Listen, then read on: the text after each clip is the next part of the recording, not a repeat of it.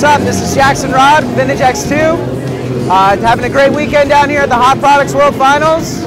Uh, wearing my Jet Tribe gear. It's great stuff. Boots are awesome. Keeps the rocks out of your feet.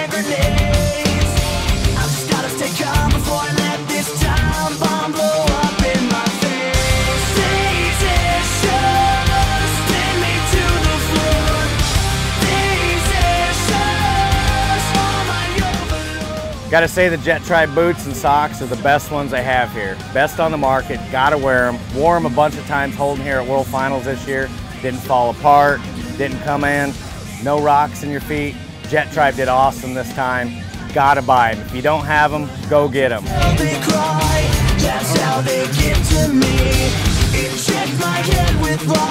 Uh, I'm Brock Austin. I'm from Bountiful, Utah. I've been racing since I was 10 years old. I quit for a couple years, got back into it, and uh, I got sponsored by Jet Tribe. Been riding for them this year, been competing and uh, winning across like the western part of the United States, and came here and won Expert Limited. And Jet Tribe hooked me up with all their gear, and I ride and just rip it up for them.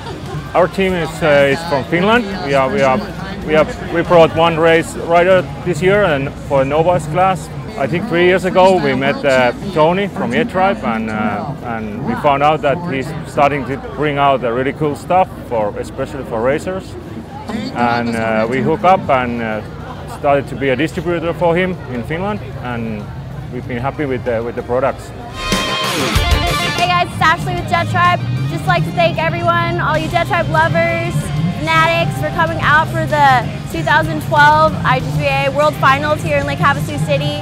It's been a great week full of racing, full of freestyle rounds.